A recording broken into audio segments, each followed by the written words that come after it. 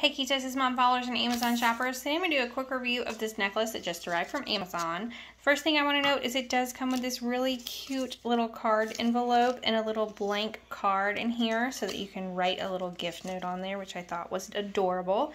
It also comes in this box. It's a kind of navy box that almost looks like it has like a snake skin or alligator skin type thing on it. And then inside this box is your bag with the necklace. When I take these out, you do get two separate chains here. Here is one in this set, and then here is the one with the letter on it right here. So let's get them out so you can see them outside of their packaging. As you can see, this one is meant to be more like a choker, and then this one is meant to be a little longer.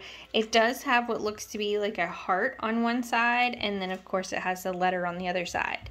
This emblem right here itself has a nice weight to it. It's very pretty. And then the chains right here are very lightweight. So let me put it on so you can see what it looks like on as well.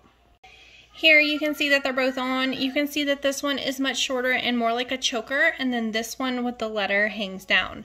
If I'm being completely honest, I will likely probably only wear this one and not the one that is the choker, although it does come with both of them. If you like quick reviews like this, head over to amazon.com forward slash shop forward slash ketosis mom. Bye y'all.